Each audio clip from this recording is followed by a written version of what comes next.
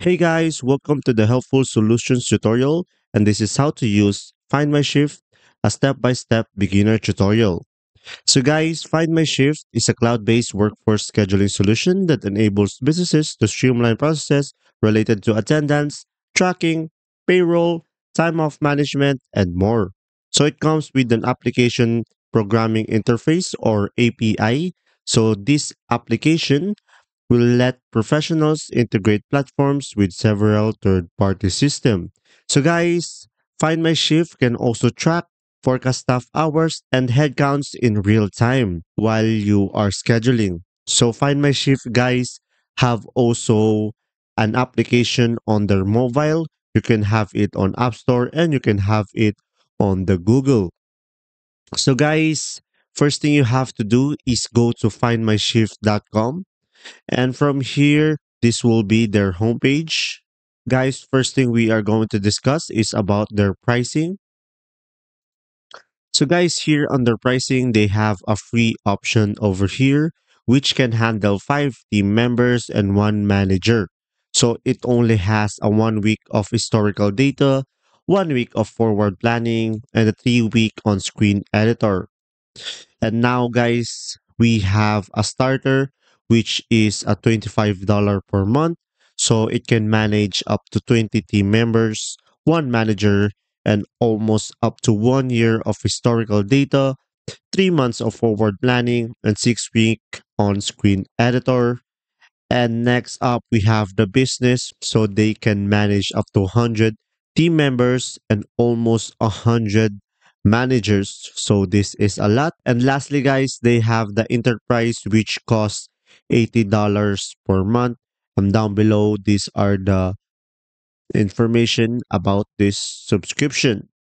And you can also have here yearly, which can save up to 15%. So now guys, let's go ahead and go over here on the free and click on get started. So from here guys, you will have here the names of your staff. So I'm just going to add their names. And once you're done guys, just hit add stuff and hit yes. So make sure guys you have your name over here as well and hit continue. So from here guys, this will be your homepage. And then from here, you will see all of your members. And as you can see here, the dates. So when you click here on a block, you can type in 6 to 10 and hit enter. And it will automatically have a time over here. And if you click one more time and I click on one hour break and then hit enter and it will automatically add on your time block. And now guys, we can also drag it on the other time or on the other day. And we can also have it copy, just hit right click and copy and paste it on another block. So I think this feature is a really great one because it is very simple to use. And guys, you can have here your personalized time schedule for all of your employees. And make sure also to save your progress, guys. Click here, save all changes. And now, guys, let's move on to the staff over here. So from here, guys, you will have here the name of all of your staff. And as you can see here, you will also see the date started. And when you click one of them, you will see their personal information. As you can see here, if we click on general, we can have here their name, their last name, their email address, their phone numbers, and their gender as well, and the date of birth, and also their password.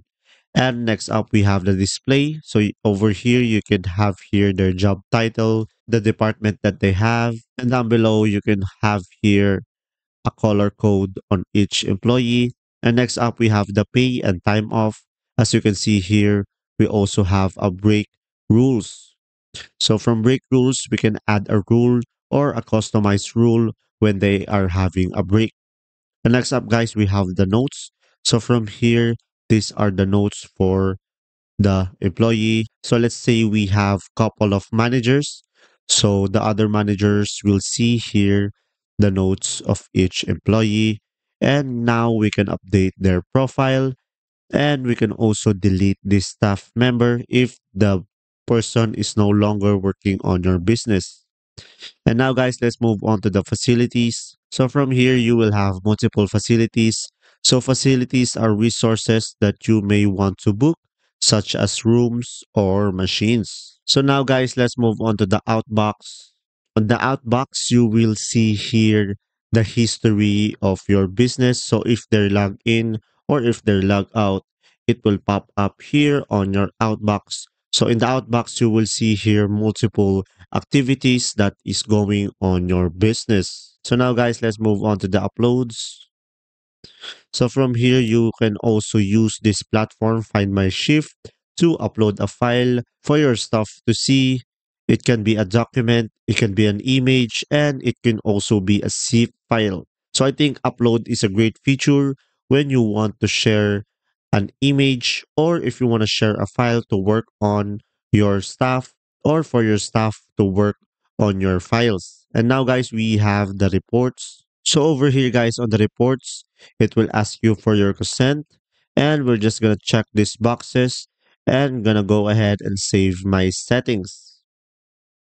And then from here guys, as you can see, this will be your statistical record of your business. So we have here the total hours, the shift of our employees, and over here, our staff that are active. And then as you can see here, guys, this is what I input earlier. So as you can see here, the chart. So this will be the working hours and this will be the date. So as you can see here, almost eight people work and over here, zero people work. And down below, guys, you will see here the total hours by staff member. And as you can see, Daniel Russell has over 12 hours on his count. And John Allen Kirsamin, 7 hours working. And you can also have here an option to download it. Over here, we also have an hours by gender. And down below, guys, we have here man hours per day. So over here, these are the total day of an hour of each employee. And next up, we have the shift by day. And as you can see here, a statistical record about your shift. And as you can see here, as I put earlier, I only added two shifts. So only two shifts are showing over here. So they are 50-50. And over here, same thing as well. And there you go, guys. If this video is helpful, please like and subscribe. And thanks for watching. See ya.